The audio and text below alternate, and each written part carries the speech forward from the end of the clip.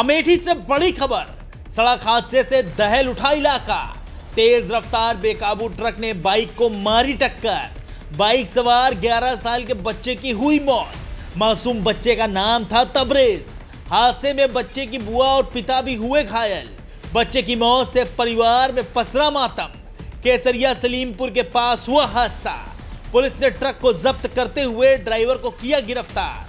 इस वक्त की सबसे बड़ी खबर अमेठी ज़िले से आ रही है, जहाँ केसरिया सलीमपुर इलाके में तेज रफ्तार बेकाबू ट्रक ने एक बाइक को टक्कर मार दी। इस हादसे में बाइक सवार तीन लोग बुरी तरह घायल हो गए, जिसमें 11 साल के मासूम बच्चे तबरेज की मौत हो गई। वहीं बाइक सवार तबरेज की बुआ गंभीर रूप से घायल हुई हैं, जिन्हें इलाज के लिए अस्पताल में भर्ती कराया गया है। वहीं पुलिस ने तत्काल कार्रवाई करते हुए ट्रक को दबोच लिया और ड्राइवर को गिरफ़्तार कर लिया। हादसे में बच्चे की मौत के बाद से परिवार में कोहराम मचा हुआ है। ये आगे हो गई भी ट्रक वाला उधर साठ सत्तर की स्पीड में आ रहा था साठ सत्तर की स्पीड में। हाँ हाँ। इधर सामने टक्कर मार दी मैं इधर से जा रहा था। अच्छा बाइक काफ़ी चला रहे थे? हाँ बाइक हम ही चला रहे थे। जो बच्चा खत्म हो कैसा था ये? क्या? जो बच्चा खत्म हो नाम क्या था? तबरेज खान। तबरेज खान। कैसा था ये? दस ग्यारह साल का था। दस ग्यारह साल का। तो मौके पे अ, खत्म हो मौके गया? पे ही खत्म हो गया।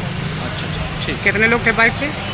तीन लोग थे मतलब बच्चे लोग थे सब्सक्राइब करें आपका अपना चैनल न्यूज़ टाइम नेशन और हर खबर सबसे पहले पाने के लिए बेल आइकॉन ज़रूर दबाएँ।